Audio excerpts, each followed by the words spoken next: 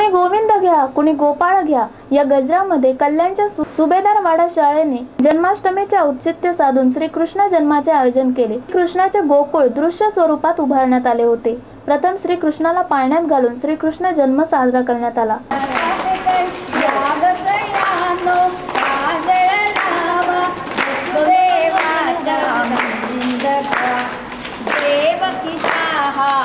जागतयानो वरुण राजाने मारलेल्या दडीमुळे दुष्काळाचे सावट पसरले आहे. या कारणामुळे सुकी दही अंडी बाळ गोपाळांनी फोडली. आणि गोविंदाला साकडे घातले की पुढच्या वर्षी आमच्यावर कृपादृष्टी ठेवून मनसोक्त बरस आणि दुष्काळ नाहीसा कर अशी अनोखी दही अंडी बालवाडीच्या मुलांनी साजरी केली.